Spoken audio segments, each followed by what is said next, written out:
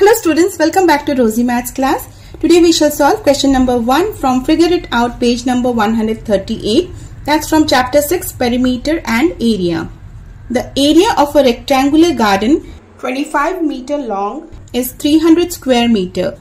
What is the width of the garden? So we have a garden here and the area of this garden is given as 300 square meter and the length is given as 25 meter. It's 25 meter long. Okay, we need to find out the width of the garden. This length we need to find out.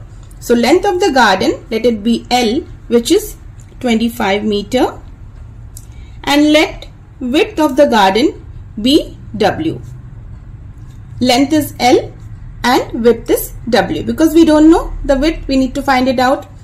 Area of the rectangular garden is 300 square meter. So we know the formula for area that is length into width is equal to this area right?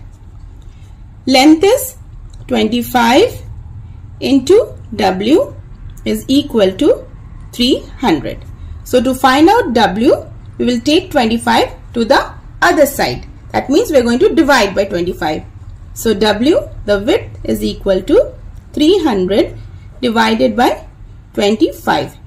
Now we'll do the cancellation. 5, 5s are 25.